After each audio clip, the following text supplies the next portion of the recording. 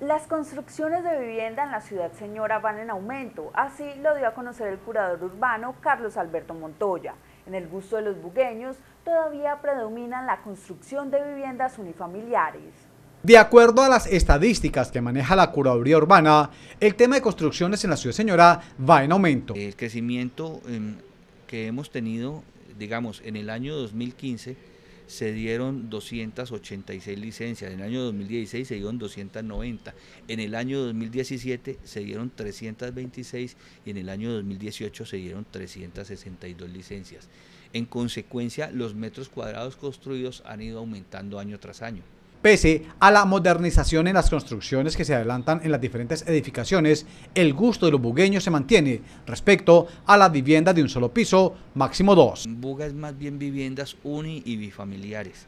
Sí ha habido algunos amagos, se puede decir así, de viviendas multifamiliares que son aquellas que tienen tres unidades o más de viviendas, pero son, son definitivamente muy pocas. Según el curador urbano Carlos Alberto Montoya, Buga cuenta con terrenos para la construcción de viviendas, los cuales pertenecen a la propiedad privada. Hay terrenos hacia el norte que falta por urbanizar, que hacen parte de un plan parcial llamado Zona Norte 1, eh, y tiene terrenos hacia el sur. Eh, en un área creo que de, de 42 hectáreas que hacen parte de los planes parciales 1, 2 y 3. 1 y 2 son lo que es la Julia, eh, la Julia y y la Fundación Santiago Vergara Crespo y Plan Parcial 3, que es lo que todos conocemos como San Jerónimo, que llega hasta el Liceo de los Andes. Para quienes vayan a construir, deben tener en cuenta que hay una tarifa de acuerdo al estrato, donde está el predio. Para el estrato 1, el cobro oscila los 240 mil pesos y para el 6, 1.900.000, además de cumplir una serie de requerimientos legales. William Hurtado Loaiza, CNS Noticias Buga. A continuación, el curador urbano da a conocer cuáles son los requisitos que se deben de tener en cuenta a la hora de solicitar la licencia de construcción de cualquier tipo de edificación. Tiene obligatoriamente que asesorarse de un arquitecto y de un ingeniero civil.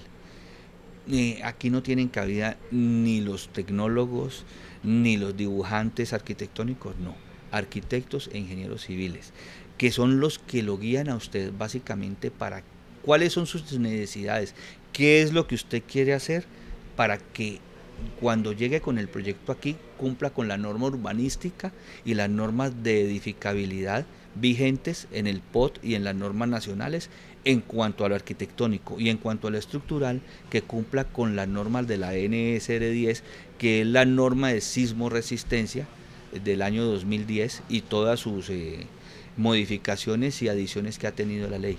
Si ha construido con licencia, se tramita licencias de ampliación. Si ha construido sin licencia, debe demostrar primero que lleva más de cinco años construido y se hace un acto de reconocimiento de existencia de edificación y después se tramita una ampliación.